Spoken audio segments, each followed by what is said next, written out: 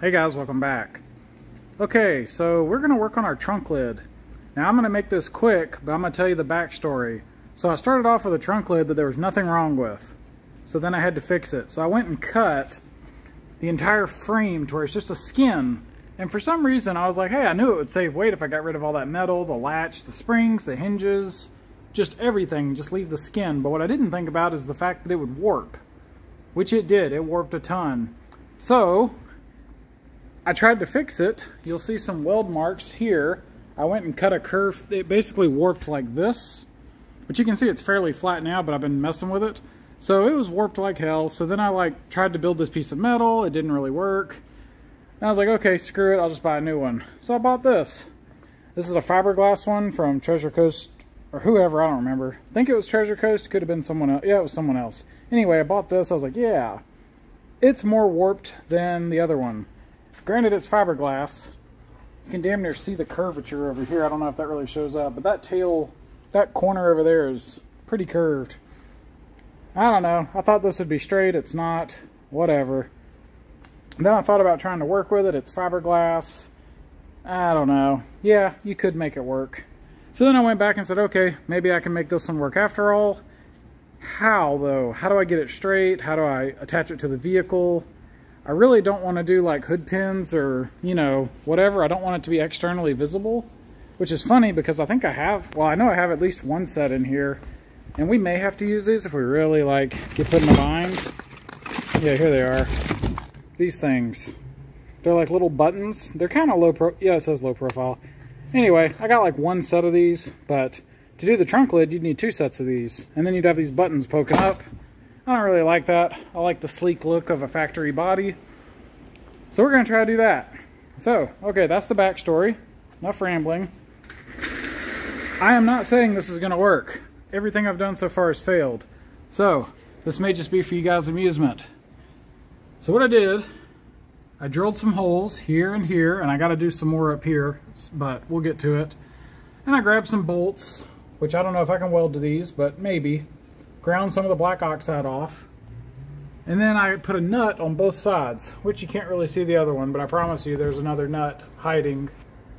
And then you can move the nut up and down, which changes the spacing to move the trunk lid up and down. And eventually I got it to where the four corners were kind of pretty close. So I did that, and then I just started manually bending this with my hands. And then if you put a weight here, like watch this, if I lift this up, you'll see, well, it doesn't really look that bad off camera, but it's too high. If I set this down here, then it gets a lot better, which on camera looks low.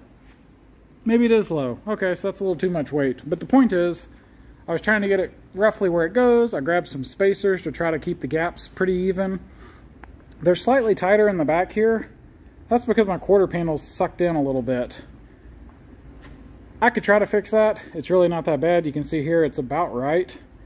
That'd be a lot of work. I kind of welded the quarter panels to these uh, wheel wells. So you're going to be bending metal and stuff. I don't know. I might try to fix it. We'll worry about that later. So anyway, it's pretty close. It actually looks like right here, if you follow this line, that's actually pretty flat. I'm not saying it's perfect, but I was so far off before that I'll, I'll accept that. That needs to come back a little. Anyway, that's not the point. She's not perfectly aligned. The point is, if this system works, once the bolts were welded to the deck lid, to remove it, all you would have to do is just come under here and spin a few nuts off and it would come right off. But you could also spin the nuts to move each individual bolt area up and down to attempt to level the deck lid and get it, you know, roughly looking good. Which frankly, it looks pretty good right now after bending it around some. I actually was able to bend a lot of the warp out. It was way worse than this earlier. Okay, so with all that said, we're gonna attempt this. So, I think our next move, I do not want to weld directly to that, not right now. I've already tried that, it doesn't really work. So instead, I think that, like I said, I don't have, you can tell I don't have a lot of confidence. I don't know if this is gonna work. This thing has just kicked my ass. But here's what we're gonna do. We're gonna go get a piece of steel, cut out some squares, we're just going to mark this with a Sharpie, just generally where the bolt is. And I'm going to go get some sheet metal and tack weld the sheet metal to this, I think. I'm afraid to glue it. I don't know if it would actually hold like long term, so I'm probably to try to weld it and hope I don't fuck the deck lid up too much. I just need to tack it, a piece of plate, tack it to the factory uh, sheet metal in all four spots. You can see here, these are like on the edge of a piece of sheet metal. That's kind of weird. We got to figure that out. But the point is, we're going to mark those and put some sheet metal in those areas to where the bolt heads hit that, which I'll have to readjust them all, but that's fine. But if I can do that and hopefully not warp the panel too bad, then when I come in here and weld the bolts to that other plate, it shouldn't warp the panel any further. That's the hope. Is this going to work? We don't know. But this is what we're going to attempt. And you can see in the middle, we probably need to add a bolt or two there as well.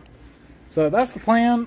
We're going to do something, try to make this happen and see how it goes. And if it all fails, then I guess we'll try a fourth time, or I don't even know at this point. I guess the only other option is buy a factory trunk lid. And they're like 300 to $400 for a stupid trunk lid. It's insane. So I guess if we have to, we'll buy one. But even if I buy one, I still got to figure out how to attach it to the car. I just want to have to deal with it being crooked.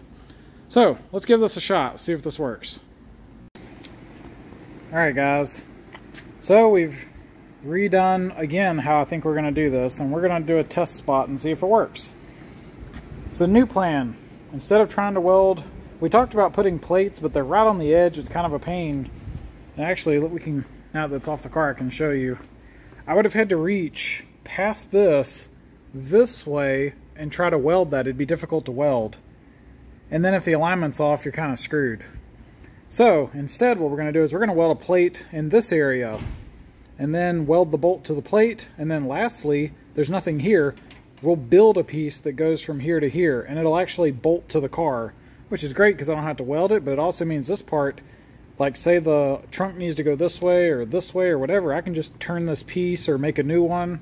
It doesn't require welding. It's not permanent and I'm not drilling, like I don't have to wallow these holes out or drill them again or something. I can just change this piece. So I think it's better, and potentially I could even like weld a spacer onto it to where you don't have to deal with that. so anyway, that's the thought. And win or fail, this is what we're gonna do. This could be great, this could be a mistake. I just happen to have all these like pieces I bought. these are 304 stainless samples for like practice welding. I cut them to 2.67 inches and I beveled the edges with a 60 degree edge. You, maybe that shows up, I don't know. But anyway, there's a bevel. Make it a little easier to weld.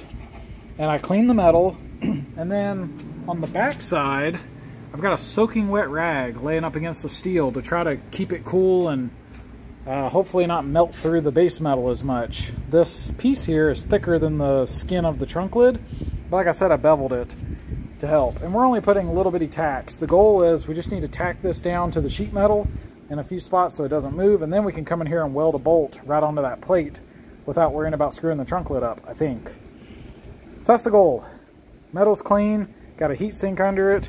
We're gonna grab, we beveled our edges, we're gonna grab our TIG welder and basically just go and try to hit it really fast. I might even see if we can fusion weld this. I don't know if that'll work, but you won't know if you don't try. Maybe we'll try that because that's the fastest way to do it. So we might try that, see if we can't fusion weld this to that just really quickly. I'd rather use filler.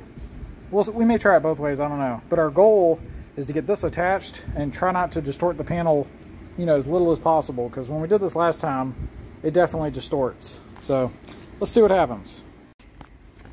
Okay, so we just tack welded the first plate on and Afterwards, I did a little sanding. I wanted to see like how bad is the distortion, how hard is this going to be to repair. And it's hard to capture on a video, so I'll try. It's not painted, so it's hard to judge a curve. It's not that bad, but it's going to require a lot of sanding and painting and probably some Bondo on a small level. So this spot, this spot, and at least this one are from previous stuff. This is what we just did. There is a bump right here. I can still feel it. And if you look in the camera, you can see a little bump there. That tiny one. These weren't as bad. I think this one was worse. That's the first one I did. And a little bit there. Anyway, it's fixable. I don't love this. I went back and looked at panels. Man, it's like $500 for a trunk lid that's the wrong color and still has to be painted. So we're going to try again. We still got to put some more plates on this might reconsider if I'm really going to put seven because this is creating a lot of work to have to fix. Uh, maybe we'll try five and see if that works. But that's what it looks like, for better or worse. Really hard to capture. It's going to have to get some Bondo or paint or something to, to fix this. But I think it's fixable. I can tell from the paint on this car is kind of thick. I never, I mean, you don't really pay attention to stuff like that. How would you? Like, here's some spots where I welded these. Maybe that shows up.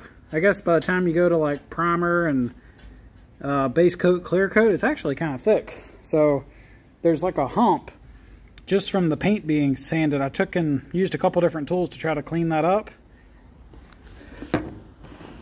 Yeah, give it a little optical zoom. That's what it looks like up close. It's not horrible. You can see that little spot. That's where the weld is. So that needs uh, some filler and this whole area just needs to be kind of lightly filled and sanded to get it level. It's fixable. I don't love it. Ah, whatever. We're going to try this. If we abandon it, we abandon it. But at this point, I'm going to cut my plates. I'm going to install at least four more, if not six more. Do the corners, like here, here, there, there. But we're going to put one here and one here. We'll see. It does warp the panel and create more work for sanding. So we may just do the five. And if that looks like it'll work, we'll just stick with that. So guess we're going to keep going. But yeah, this whole deck lid is probably the whole thing's going to have to get sanded down and painted. That sucks. But frankly, the car needs a paint job anyway. Look what we did to the wheel wells. So anyway, onwards and upwards. Not excited, but maybe this will come back around and be better in the end. Gotta hope so. Okay, so here's where we're at so far. We got our five plates mounted, which I don't think I've actually showed y'all that yet, but here's what the top looks like. So they're not, it's not bolted down, it's just sitting there. I've got some, I actually have some temporary adjustments that are kind of holding it in place. It looks good enough. It ain't perfect. The trunk lid itself is slightly twisted, and that's part of it. And it kills me, but I'm going to let this slide because it would cost several hundred dollars to get a slightly better panel. And this is a race car. So it kills me, but we're going to leave it. So, all right, now we got to get it bolted to the car. Let me show you what it looks like from the underside, just so you guys know what we're working with. There's one of them. There's another. That's the middle plate, and there's two on this side as well. So the goal is we're going to build something on the car that reaches out and grabs that plate in all of these places. That's the goal. So, I think it's going to work. Kind of a pain in the butt to do this, but it gets rid of the hinge and the latch, and we don't have hood pins that show or whatever, trunk pins, whatever you want to call it. So that part I do like. All right. We're going to take a look. We're going to pick it up on the lift, take a look at it, and maybe do some more work because it's almost 10 o'clock at night. So about time to knock off. All right, guys. So it's the next day. We were too tired last night to continue, but we're back. So here's what we did. We grabbed our bolts. These are grade 8. And normally, well, these have like a black oxide coating. But what I did was I ground the head to get the black oxide off, and then I welded, I put like four or five little tacks to the plate. We got that on all of these, so they're all put in. And here's what you'll notice. Like if we come over here, let's get uh, up close.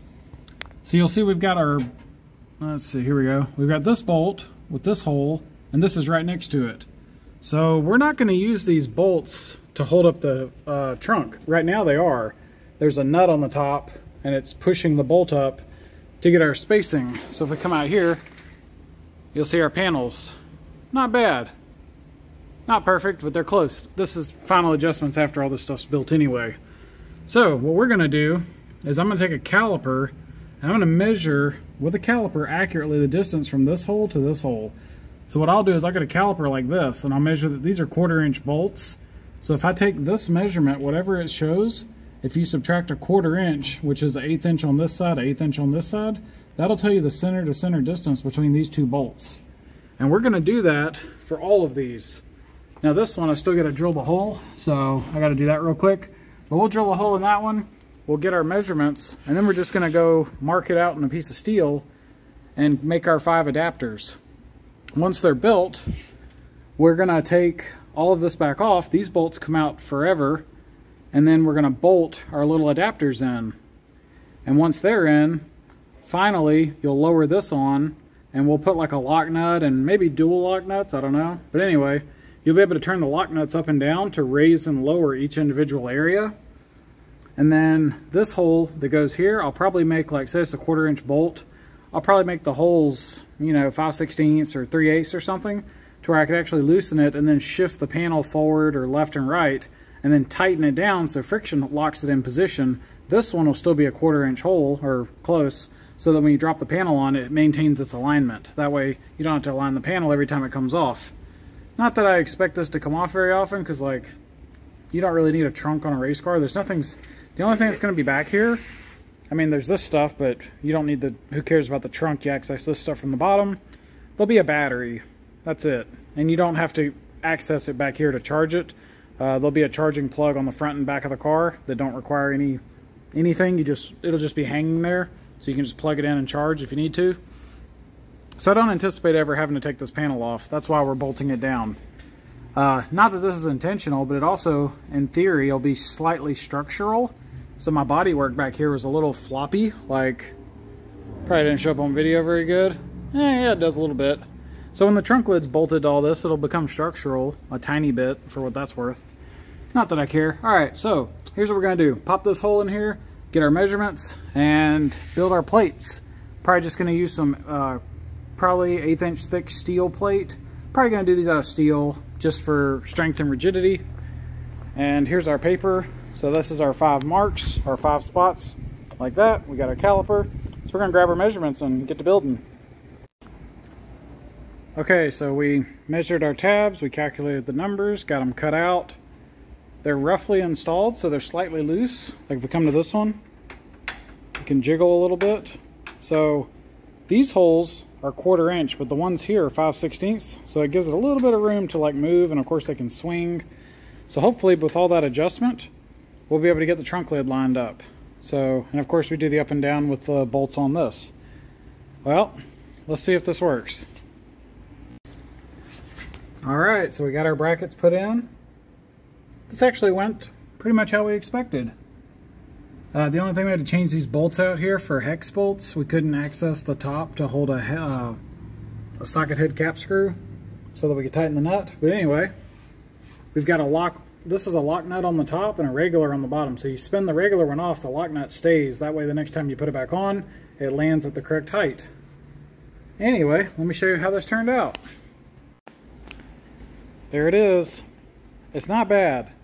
The panel is slightly warped. Some of that's from welding or just a lot of it I guess is probably just from removing all the structure underneath. But it's got a trunk lid. And the more I back up, the better it looks. But I'm just glad that this is on there. It's close enough and it could be tweaked and get it a little bit better. But it's really not bad. If we look at it here, these two gaps are about the same. They close in slightly here. That's because the quarter panel's moved. I really could probably adjust that out if I wanted to. That's not the goal today. The goal was to just get this panel on, and the gaps look pretty decent. Like I said, the panel is mostly straight. If we get, look at it like this, actually it looks good on camera. In person, like there's a teeny little dip right there. It's not much. So I'm calling this a success. God, that was a lot of work. I probably shouldn't have cut the hinges off and the car part that the hinge hooked to. I actually did consider, I was like, hey, just go buy a trunk lid and bolt it on. But there's nothing to bolt it to. I cut all that metal off. So I was like, okay, even if I buy one, I still got to fabricate to get it lined up. And I was like, well, let's just finish this. It would probably work. And it did. And it's actually more structural now. So like this front edge, that's kind of floppy. There's nothing there. But all of this, it's all tied together now. I guess the skin's floppy. But anyway, the point is, it's better than it was. This is a little bit more supported, so good stuff. Boom, trunk lid. All right, I don't even know what we're doing next. I'm just glad that that's done. So, yay!